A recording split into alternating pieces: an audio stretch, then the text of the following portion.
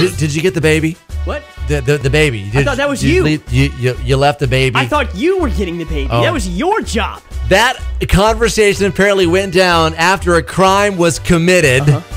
Yeah. Yeah, no, this isn't just like a, a mom and a dad arguing over who's supposed to pick the kids up from school. Uh, this was the poorly thought out plan from three women and a couple of children who entered a baby store in New Jersey earlier this month. Um, authorities say that two of the women distracted an employee, the other went to the back and stole a baby stroller, of all things, and uh, they got away with it. They were able to leave the uh, facility without getting detected, and uh, well, then they, they were forced to go back to the store because they realized that they forgot one of the kids. they forgot one of the kids, and they had to go back. And Yeah. uh, well, well, the kid was there, and so were the authorities. And they took two of the parents or two of the moms into custody, and uh, the other is still facing shoplifting and conspiracy charges.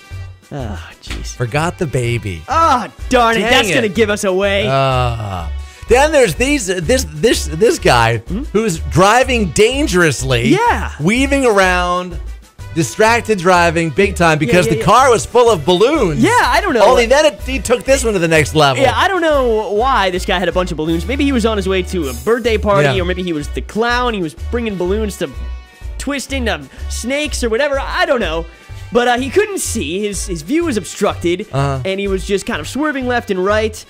Finally, um, the police caught up to him, and he still sped away. Yeah. Led police directly to his house, where he lost control, pulled into his driveway, and crashed into his own garage. Yeah. He then attempted to flee into the house and he was quickly apprehended by officers.